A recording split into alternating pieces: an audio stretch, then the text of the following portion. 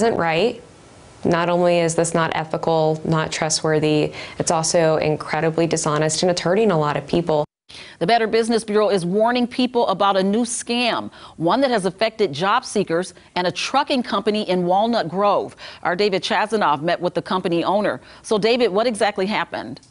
Crystal, since October, the owner has received 200 calls from people he's never met. Each call was about the same thing. People said that they was working for me. It was a package handler's job, and I was like, you know, we're a local uh, company out of uh, Walnut Grove, Missouri.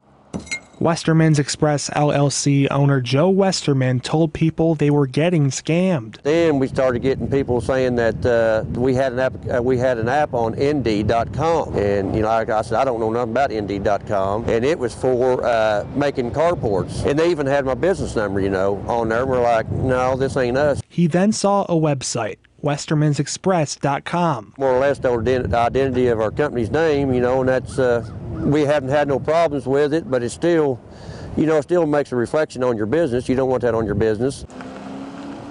So Joe asked the Better Business Bureau for help. This is just the first time that we're seeing a local business that has had its business name being impersonated. Usually we're just hearing from consumers who have had these awful things happen to them where they're out, you know, theoretically thinking they've worked a salary thousands of dollars. Regional Director Stephanie Garland says Joe was involved in a reshipping scheme. Basically, people who think they've landed a work from home job are asked to reship certain goods, sometimes overseas. They did it, but unknowingly used Westerman's company as a front. The consumer thinks, oh, I'm going to get paid. This is great. I get to work from home, get to be with my family. And they're shipping the things, but they're never getting paid for it. She recommends people pay close attention to any job offers over the phone. If you're ever getting calls, whether it's from somebody pretending to be from Westerman's Express or another business, you realize that you do typically have to meet somebody in person in order to have a face-to-face interview.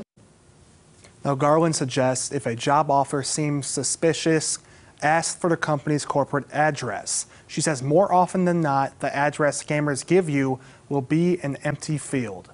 All right.